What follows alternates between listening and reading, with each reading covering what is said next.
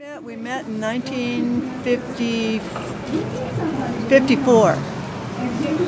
Um, we were in high school together, and he's originally from he's originally from Santa Cruz. I'm originally from Hermosa Beach, but um, his stepfather was transferred down to Southern California, so we went to the same high school together. That's where we met. So we dated for for I think about three or four years, and then we went our separate ways, had our own families, and then got reacquainted in 1986.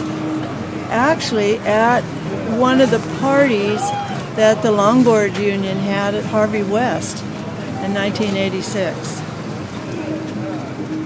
And ever since then, we've been together. yeah. We did get married in 1989, which we went out to Cowell's on our board with a friend of ours who was, um, you, you don't call him a priest, but a min- minister Minister. who also surfed at the same time, and he we had our wedding out in the water At Cowell's Kiki. at Cowell's Kiki.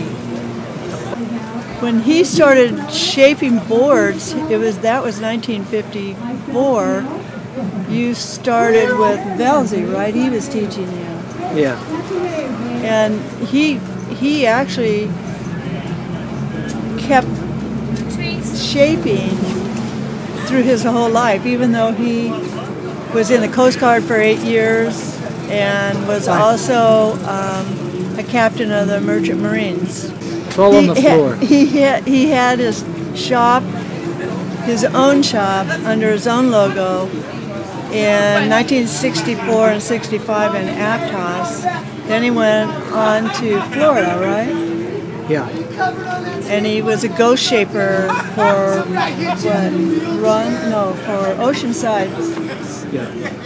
And then he came back up and shaped for the Mitchell brothers. Ralph Mitchell had a shop. That was in the late 50s. And then he went back.